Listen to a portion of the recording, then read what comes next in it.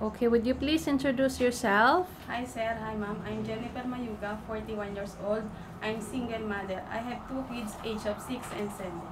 Okay, so uh, what is your educational background? I'm high school graduate, ma'am. Do you have any experience as a domestic helper before? Yes, ma'am. Where? In Abu Dhabi and in Malaysia.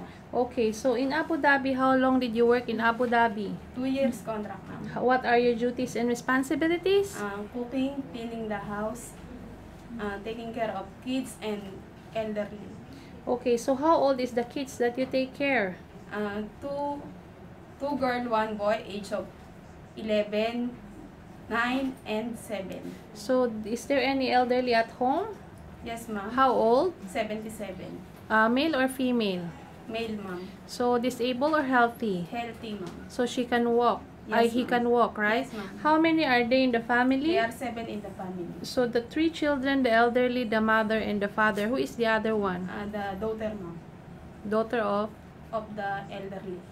Okay, so the the the sister of uh, the sister of the your employer. Yes, ma'am. Ah, okay. So how about in Malaysia? How long did you work in Malaysia? Two years also, ma'am. Two years. What are your duties and responsibilities? Taking care of the kids, washing clothes, ironing, cooking, and cleaning the house. So how old is the kids that you take care?